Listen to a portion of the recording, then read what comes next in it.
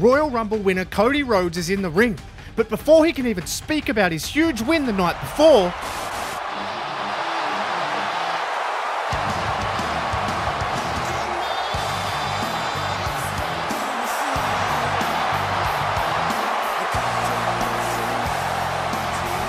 No one saw this coming, especially Cody.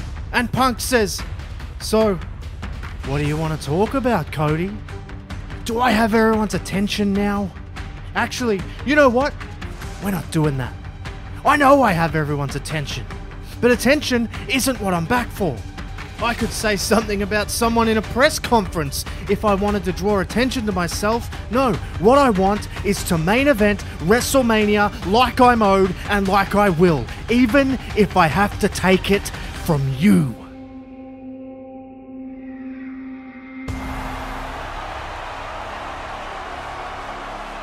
The tribal chief is here now, and he walks directly to the ring and directly into the face of both men. It's a moment for the ages. Three of the top stars in the industry in the ring at the same time. Roman's message is simple. He says, You two are out here squabbling over a WrestleMania main event, and yet neither of you have even mentioned or acknowledged your tribal chief. You're looking at the longest reigning champion in this company's history. A man that could main event any WrestleMania, any night, any time. And the situation gets even more intense when we see Triple H walk out. He has a massive announcement. He says, Obviously, we have a situation here, and Roman, honestly, what you just said kind of made my job easy. You said any WrestleMania, any night, right? Well, how about both nights in Hollywood? Because you'll be defending the Universal Championship on night one and the WWE Championship on night two. Triple H drops a bombshell, or more appropriately, a pipe bomb. Immediately, as he says this though, Paul Heyman sprints out. He's livid. He's yelling at Triple H to reverse the decision, but he won't wilt. But then, in the ring, we see chaos erupt because Roman Reigns gets dropped by a GTS. Cody tries to attack Punk, but it doesn't work. He gets a GTS as well. Punk then storms up the ramp where Triple H and Paul Heyman stand. Two men he has mega history with. He stares a hole through Heyman. And then he turns to Triple H and he says, I will do whatever I have to do to main event WrestleMania, whether you or they want me to. Stack 'em up, Hunter, and I'll knock 'em down. And Triple H isn't done with the pipe bombs. He drops another one. He says that in just three weeks' time, at Elimination Chamber, the men's chamber match will determine who faces Roman Reigns on night one of WrestleMania. And there's going to be qualifying matches to determine who will enter the demonic structure. But for which title? Well, that's going to be up to Cody. As the Royal Rumble winner, he's up next to let everybody know which championship he wants to fight for in the main event of night two. And Cody is already in the ring, and he says, You know, ever since making the choice to come back to WWE, I wanted one thing. I wanted the title that my father chased, the one he couldn't bring home, the one that I wanted to bring home and lay in his hands. And since I can't realize that dream, now I have a new dream. I want to bring it home and I want to place it in my own daughter's hands. Roman, I want the lineage. I want the history. I want the WWE Championship.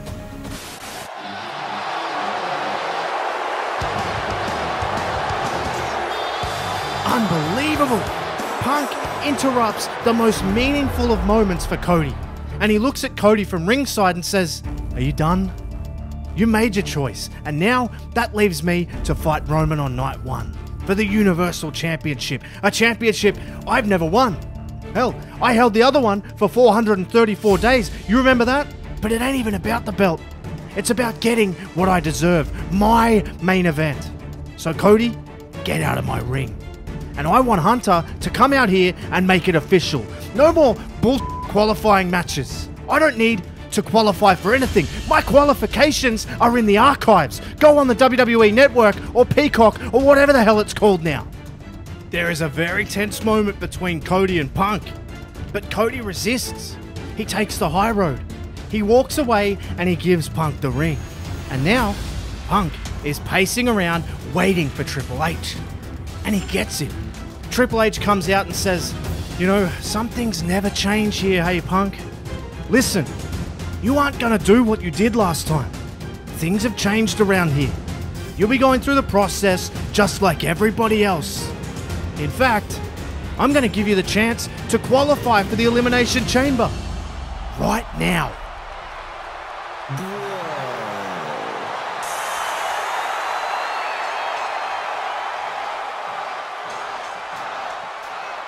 It's Matt Riddle.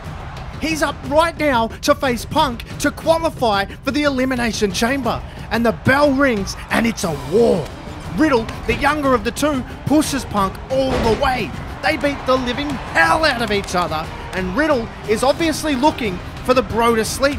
It's an obvious adaptation of the go to sleep, which Punk is looking for as well. They go back and forth until Punk is able to reverse the bro to sleep and hit his GTS.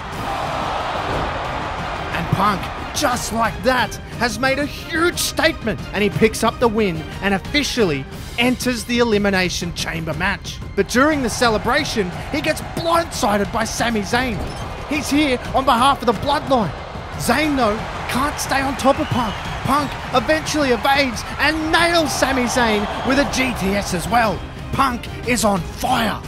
He walks off up the ramp in victory, thinking his night is over, but it isn't.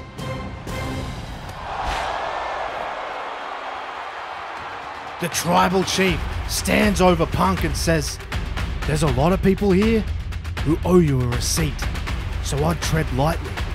You'd want to hope you don't even make it through the chamber. Welcome to the island of relevancy. And with that, Reigns has sent his message back to Punk. But who will enter the Elimination Chamber for the right to face the Tribal Chief on night one for the Universal Championship? Kevin Owens takes on Elias, and he's able to knock him out of the running with a pop up powerbomb. And Johnny Gargano is next to qualify after a hard fought win over The Miz. He's able to hit one final beat on the A lister for the one, two, three. And on SmackDown, we see Karrion Kross pick up a huge win over the legendary Rey Mysterio. He locks in the Kross jacket, and Mysterio goes to sleep. And a man who Kross is very familiar with, Drew McIntyre, also qualifies in a super tough match against LA Knight, who runs him real close. But the Scotsman is too strong, landing a Claymore to claim the second last spot. The last spot, however, is an emotional one. Kofi Mania, of course, was born from Ali going down injured, and Ali wants that spot back. And Ali is able to pull out the super emotional win. He gets his chance, he gets his moment, and he's ready to enter the Elimination Chamber.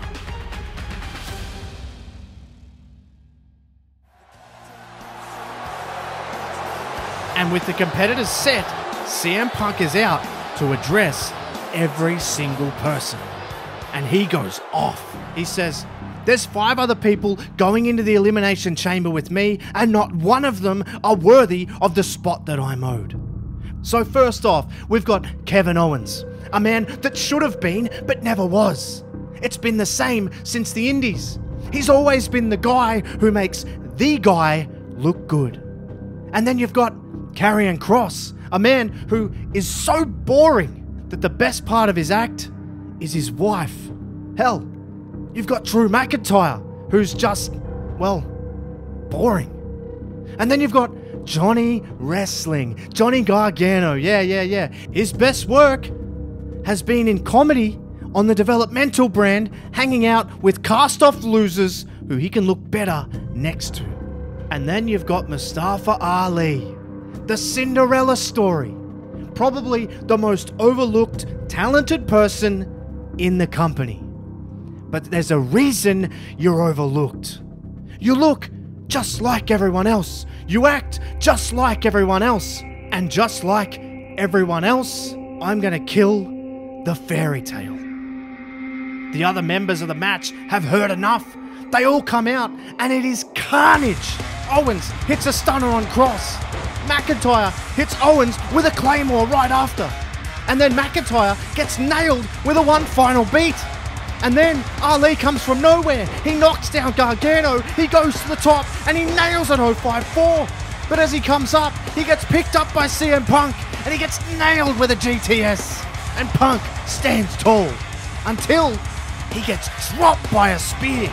Roman Reigns was watching. He wanted to send another message, but this time to everyone. He leaves Punk laying. There's a path of destruction that is leading to Elimination Chamber, but there's one piece of the puzzle that hasn't been seen yet. It's Cody, and he sends his message, and he drops Reigns with a crossroads. He doesn't want to be forgotten in all of this either. But now, it's time to enter the chamber. The battle for the main event of night one is on, and Mustafa Ali and Johnny Gargano started off, and they tear the house down early, and they really set the tone. The next man in is the giant Scotsman, Drew McIntyre. He takes it right to both men. He's so dominant. He completely takes over the match, slamming both men into the unforgiving steel. The next man in is Kevin Owens. He has a stunner for Gargano, a stunner for Ali, and the stunner for McIntyre. But he can't get any eliminations. And then the next man up is Punk. He knows he needs to impose himself, and he comes right in for one of the men who has been in the match the longest. He goes right after Johnny Wrestling. He's strategic and it works. He smashes Gargano's head off the cage and then rocks him with a GTS for the first elimination. Gargano is gone. But the final entrant is Karrion Kross, and he dismantles everybody who is left. He's fresh, he's dangerous, and all the combatants are now in the match, and the eliminations start to fly. Kross chokes out Owens, but he doesn't tap, nor is he pinned, but he is eliminated because he goes to sleep. Kevin Owens has been eliminated. But as Kross lets go of the submission, he gets blasted by a claymore, and Drew McIntyre has the last laugh. He gets the big elimination. Kross has been eliminated. and it's now down to three. Ali, the Cinderella story of redemption. And Drew McIntyre wants the WrestleMania moment in front of a full stadium that he feels he deserves. And CM Punk, the quest to finally, after all the things he's done in his career, main event WrestleMania. The three go to battle, all exhausted, nothing left. Drew McIntyre looks for a Claymore on Ali. He gets out of the way, and the Claymore nails Punk instead. But before McIntyre can get the pin, Ali drops him. He knows this might be his only chance. He goes to the top. Oh, five, four for the one, two, three on McIntyre. McIntyre has been eliminated. And he quickly scurries over to Punk to cover him. Punk hasn't moved since the Claymore. Ali's gonna do it. Punk kicks out. Ali can't believe it, but he knows he has to keep on the pressure. He rushes to the top. If he hits this 054, it's over. But Punk gets the knees up. Ali is rocked. He stumbles to his feet. Punk seizes the opportunity.